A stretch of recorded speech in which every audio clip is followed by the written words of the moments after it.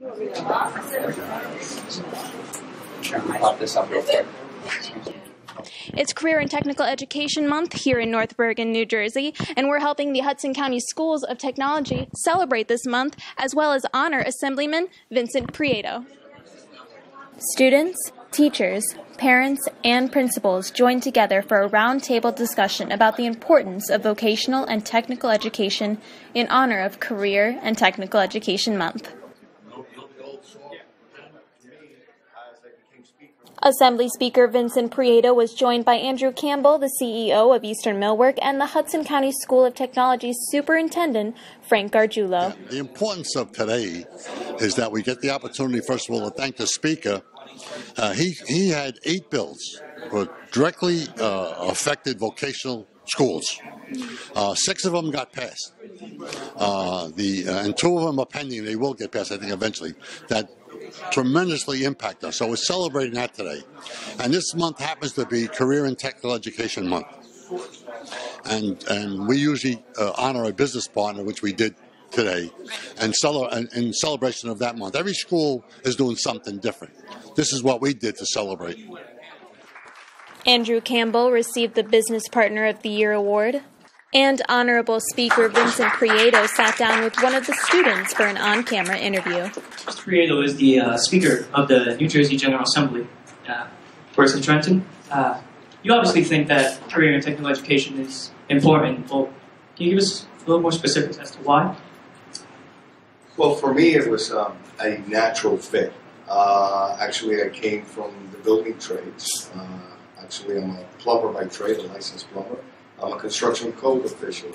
And getting to Trenton about 10, 10 years ago and, uh, and working, uh, I think education is very important. It's been one of my passions uh, as my children. Uh, one of them went into the technical fields and is in the uh, movie making business, and the other one is a teacher. So uh, in math, so I see the difference, and uh, there's different strokes for different folks, as they say, but we have geared in the last few years. Um, it's K through 12. We spend hundreds of thousands of dollars on our children, and we've been gearing them almost only for college, and not letting them know that there is other avenues out there. And uh, technical uh, vocational education is one of those. And I think that we needed to do some change. So this last year, I've made some legislation and working together with the uh, key stakeholders so we knew what, what we would need to be able to be able to run facilities like this and be able to make them uh, you know available to everybody because there's not enough room when you see a great facility like this that I am blown back by all the great things you have here. So it was a natural fit for me just to be able to get out there and give some incentives, put some grants in place, and that way um, the the students know that there's alternative ways of making money, and potentially it could be a gap to college because college is also very expensive. So trades, technical, um, manufacturing is not what it used to be. It's, the 21st century, so you need a cer- uh, certain skills for it. So we need to prepare our students and our future employees in the right direction. Students talked with us about what they enjoyed most about the programs. The, the program is a hands-on program. Um, it's a plumbing program. I started in high school, very hands-on. Um, it's a nice opportunity.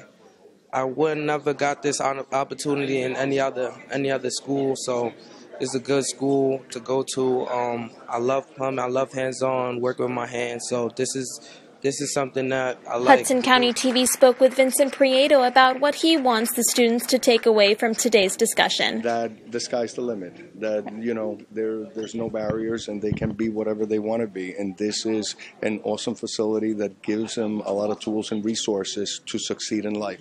Right.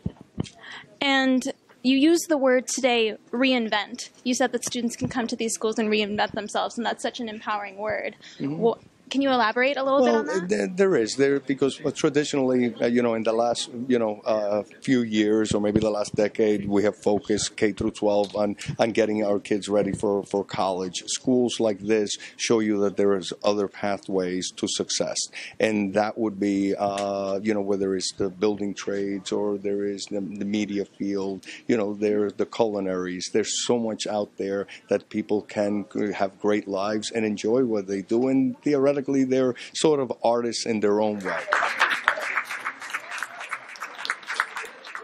I'm Olivia York, reporting for Hudson County TV. We're committed to you.